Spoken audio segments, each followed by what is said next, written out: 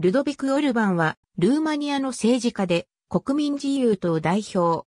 第94代ルーマニア首相を務めた。2007年4月から2008年12月まで、第二次カリンポペスクタリチアル内閣に、運輸省として入閣していた。2008年から2016年まで、ブカレスト選出のルーマニア大議員議員であった。ブラショブで、ハンガリー人の父とルーマニア人の母の間に生まれた。1982年に同志のアンドレイ・シャグナ高校を卒業すると、ブラショブ大学で産業機械の設計を学び、1988年に卒業した。1993年にブカレストの国立政治行政大学大学院で政治学を収めた。1988年から1990年まで彼はトゥルグセクイエスクの工場でエンジニアとして過ごし、1990年から1991年にかけては故郷ブラショブの工場に勤務した。1991年から1992年にかけてはビトルル・ロムニエーに毎日寄港し、1992年から1997年まで自由党顧問を務めた。1997年から2001年にかけてエネルギー政策庁、障害者総局、国家公務員庁など様々な政府機関及び公的機関で活動した。また、チルドレン、ザ・ライト・オブ・ザ・ワールドという基金に参加したほか、コンサルタントとしても活動した。1992年から1996年まで、ブカレスト市、セクトール3のセクトール議会議員を務めた。セクトール1の議員としても選出されていたが、そちらは辞退した。1993年から1997年には自由党の執行委員会に入り、1998年に自由党が国民自由党に合流すると、国民自由党の国民評議会に参加した。2001年からは国民自由党の常設中央委員会メンバーとなり、2002年には党政治委員会に移った。2002年11月からは国民自由党のブカレスト支部長となり、2004年7月から2007年4月まで、ブカレスト副市長を務めた。ブカレスト副市長を辞して、タリチアヌ改造内閣に運輸大臣として入閣し、2008年総選挙で国民自由党が敗北するまでブカレスト選挙区で議席を維持した。2008年地方選挙ではブカレスト市長選挙に立候補したが、得票率11.4%の4位に終わった。2009年3月、両友クリンはアントネスクが党代表に就任すると、タリチェアヌ派は退庁したが、オルバンは党副代表に抜擢された。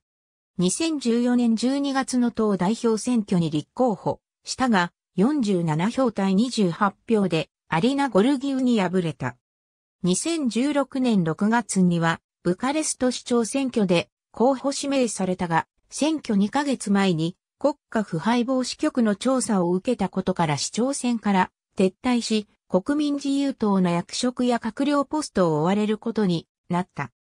しかし、2017年1月にルーマニア破棄員から斡旋収賄の権利について無罪の判決を勝ち取り、翌月には国民自由党代表選挙への立候補を発表した。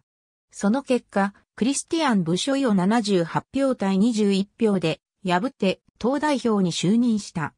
2019年10月、ビオリカ・ダンチラ内閣が議会の不信任決議により崩壊すると、クラウス・ヨハニス大統領はオルバンを首相に指名した。11月4日には、オルバン内閣は議会の信任投票で信任されて正式に発足した。しかし政権発足からわずか3ヶ月後の2020年2月5日、ルーマニア議会は、オルバン政権の不信任決議案の採決を行い、賛成261、反対139票で必要な233票を上回ったためオルバン政権の不信任が成立。翌6日、ヨハニス大統領より再組閣を指示されたが、2月25日に首相候補を辞退した。2020年12月6日執行の総選挙で国民自由党は25%の得票にとどまり、約30%を獲得した社会民主党に届かない見通しとなったことを受け首相を辞任。オルバンは挑発的な言動で知られ、物議を醸すことも多い。元大統領トライアン・バセスクから運輸省、在任時の2008年夏の洪水時の対応が、拙劣だったことを指して、無能と言われたのに対して、大統領は闇を支配する最後のサウロンだ。と叫んで応じている。また、2009年にバセスクを支持する民主自由党と社会民主党が主体のエミール・ボック内閣を批判する際、社会民主党党首、ミルチャ・ジョアナをバセスクの執事と呼び、内閣の教育政策を攻撃したほか、観光振興は不要な贅沢として非難し、政府は年金や公務員給与を満足に支払えないだろうとして、金融危機を叫んだりした。2006年3月には、アルバ県の国民自由党の女性党員らとの会談で、重要な公的地位を得るために、上司のベッドを通る必要はないと言い放ち、さらにラルカ・トゥルカミやミオアラ・マンタレ、エレナウド・レアはそうした女性であり、モナムスカやノリカ・ニコライはそうしなかったとも述べて、性差別であると非難を浴びた。また、2007年12月には、コトロチェニで乗用車を運転中に16歳の少女と接触事故を起こして入院させた。